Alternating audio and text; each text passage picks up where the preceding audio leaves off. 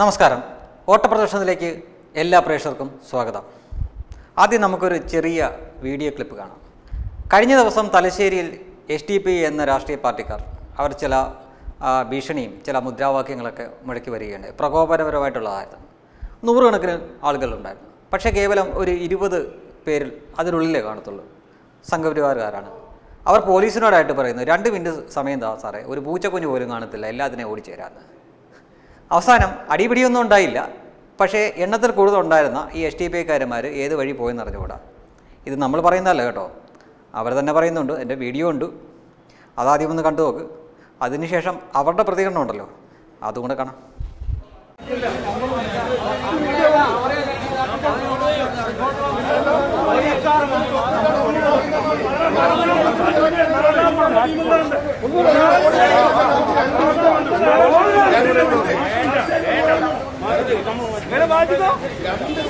നിങ്ങൾക്ക് രണ്ട് മിനിറ്റ് മതിയോ പൂച്ചക്കുട്ടി ഇല്ലാണ്ടാക്കി തരാം. അത് വേണ്ടെന്നൊക്കെ പറഞ്ഞു നിങ്ങൾ.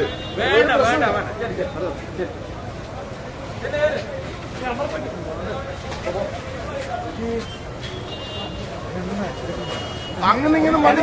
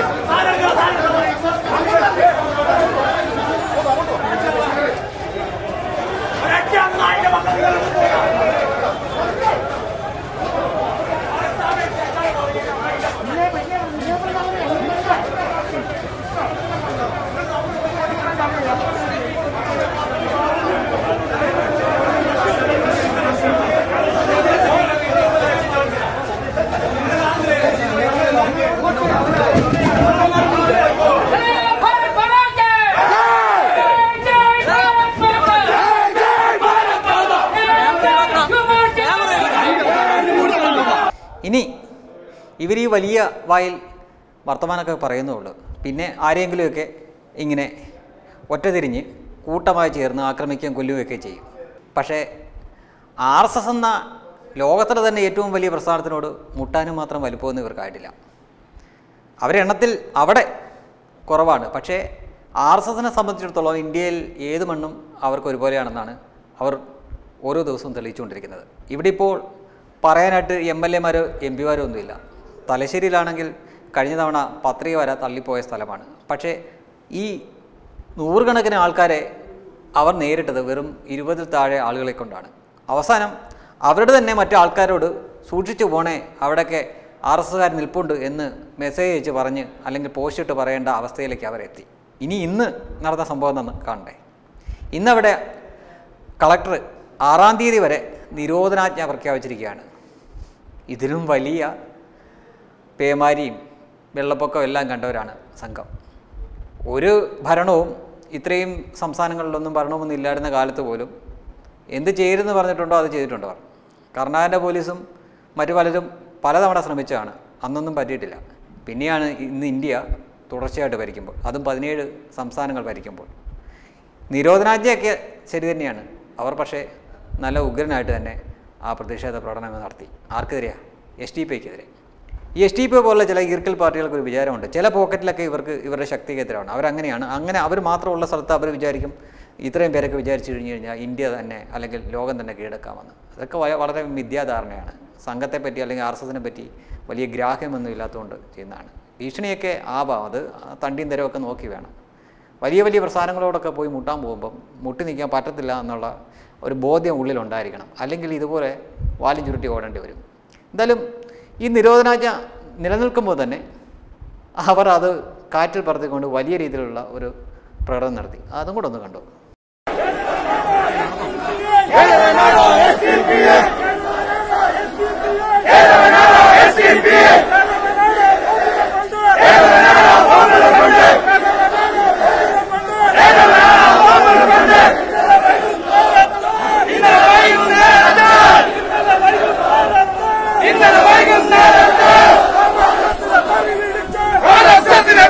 എന്തായാലും നമ്മുടെ ഇവിടുത്തെ മാധ്യമങ്ങളൊക്കെ ഇതൊക്കെ വലിയ വിഷയമായിട്ട് എടുത്തിരിക്കുകയല്ലേ? നല്ല കാര്യം.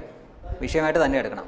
കാരണം മുൻകാലങ്ങളിൽ ഒരുപാട് കൊലവിളികൾ നമ്മൾ കണ്ടതാണ്. പക്ഷെ അതൊന്നും നിങ്ങൾ ഒരു ചർച്ചയ്ക്ക് പോലും എടുത്തിട്ടില്ല. അതൊക്കെ അങ്ങ് തമസ്കരിക്കുകയാണ് ചെയ്തത്. മറിച്ച് ഒരിക്കൽ അങ്ങോട്ട് ബി ജെ പി അല്ലെങ്കിൽ സംഘപരിവാർ ആർ എസ് എസ് അവർ വിളിച്ച ആ മുദ്രാവാക്യത്തിന് മറുപടിയായിട്ട് ഇറങ്ങിയപ്പോൾ അത് നിങ്ങൾക്ക് വലിയ കാര്യമായി. നിങ്ങളുടെ സർട്ടിഫിക്കറ്റ് തൽക്കാലം ആർ എസ് എസിന് ആവശ്യമില്ല. ആർ എസ് എസ് എന്താണെന്ന് ഈ ഇന്ത്യയിലെ ബഹുഭൂരിപക്ഷം ആളുകൾക്ക് അറിയാം. കേരളത്തിന്റെ എം എൽ എയോ എം പിയോ ഒരു പഞ്ചായത്ത് മെമ്പറോ പോലും ആവശ്യമില്ല. നിങ്ങളെ കൂടെ കൂടിയ ഈ ജനതയെ ഭരിക്കാൻ. മനസ്സിലായില്ലല്ലേ? നിങ്ങൾ ടാക്സ് അടയ്ക്കുന്നതും നിങ്ങൾ ഉപയോഗിക്കുന്ന പണവും എല്ലാം നോട്ടാണല്ലോ അത് നിരോധിക്കണമെങ്കിലും ഇനി അത് പുതിയതിറക്കണമെങ്കിലും ഇവിടുത്തെ ഏത് ഈ രാജ്യത്തെ എന്തെങ്കിലും നിയമം നടപ്പാക്കണമെങ്കിലും ഒക്കെ നിങ്ങളുടെ വോട്ടിന്റെ ആവശ്യമില്ല. നിങ്ങളെ കൊണ്ട് അതൊക്കെ ചെയ്യിക്കുകയും ചെയ്യും. അതാണ് ആർ എസ് എസും ബി ജെ പിയും. പിന്നെ ഈ ഒരു കൊച്ചു സംസ്ഥാനത്ത് പിണറായി വിജയൻ ഭരിക്കുമ്പോൾ നിങ്ങൾക്കും നിങ്ങളുടെ കൂടെയുള്ളവർക്കൊക്കെ തോന്നും ആ ഇവിടെ ഞങ്ങളാണല്ലോ തിരിച്ച് വെറുതെയാണ്. ഇവിടെ പെട്രോൾ നിങ്ങൾ ഉപയോഗിക്കുന്ന പെട്രോൾ അതിന്റെ വിലയും നിർണയിക്കുന്നത്. അതിന് എന്ത് വില വേണമെന്നും തീരുമാനിക്കുന്നത് കേന്ദ്രമാണ്.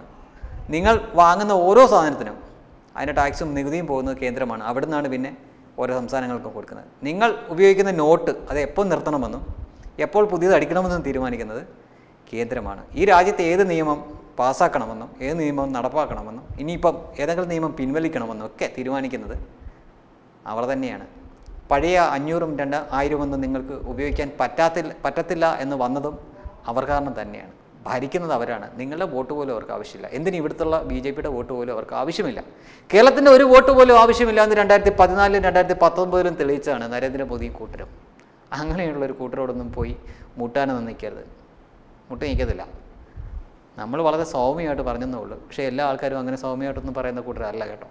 മറ്റൊരു വാർത്തയിലേക്ക് പോയാൽ കോടിയേരി ബാലകൃഷ്ണൻ തിരിച്ചെത്തി എന്നാണ്.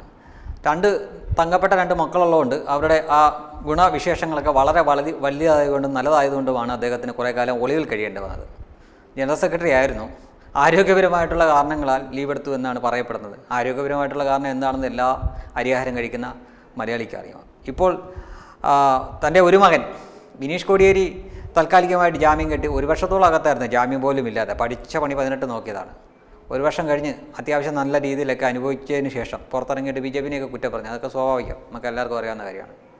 ഇപ്പോൾ തിരിച്ച് വീണ്ടും വന്നിരിക്കുകയാണ്. പക്ഷേ അതിന് വലിയ താമസമൊന്നുമില്ല. മൂത്ത മകന്റെ ഡി എൻ എ റിസൾട്ട് വരും വരെ ഉള്ള ഈ അഭ്യാസം. അത് കഴിയുമ്പോൾ ചിലപ്പോൾ വീണ്ടും അവധിയെടുത്ത് ആരോഗ്യപരമായിട്ടുള്ള കാരണങ്ങളാൽ തിരിച്ചു പോകേണ്ടി വരും. ഇത്രയ്ക്ക് ഇത്രയ്ക്കൊക്കെ ഉള്ളൂ ഈ ടീമുകൾ. പറച്ചിലൊക്കെ കേട്ടാൽ വലിയ സംഭവമാണെന്ന് തോന്നും. ഒന്നുമല്ല. ഇനി നമ്മുടെ സംസ്ഥാനത്തെ കോവിഡിന്റെ കണക്ക് പറയുകയാണെങ്കിൽ ഇന്ന് നാലായിരത്തി തൊള്ളായിരത്തി തൊണ്ണൂറ്റഞ്ച് പേർക്കാണ് കോവിഡ് സ്ഥിരീകരിച്ചത്. എട്ട് ദശാംശം പൂജ്യം ഒന്നാണ് ടെസ്റ്റ് പോസിറ്റിവിറ്റി നടക്കുന്നത്. നാൽപ്പത്തിനാല് പേര് മരണപ്പെട്ടതായിട്ടാണ്. കോവിഡ് മൂലം മരണപ്പെട്ടതായിട്ടാണ് സർക്കാർ തന്നെ തരുന്ന വിവരങ്ങൾ. അതേപോലെ ഇന്ന് കോഴിക്കോടുള്ള ഒരാൾക്ക് ഈ കോവിഡിന്റെ പുതിയ വകഭേദമായിട്ടുള്ള ഒമിക്രോൺ ബാധിച്ചോ എന്നുള്ള ഒരു സംശയത്തിലാണ് ഈ ആരോഗ്യ പ്രവർത്തകർ. അത് സ്ഥിരീകരിച്ചൊന്നും ഇല്ല എന്ന് പറയുന്നുണ്ട്. എന്തായാലും നമ്മളെല്ലാവരും കുറച്ചുകൂടെ ജാഗരൂകരായിരിക്കണം. എല്ലാവരും സുരക്ഷിതരായിരിക്കുക. ശുഭരാത്രി. Web desk Tatwamayi news.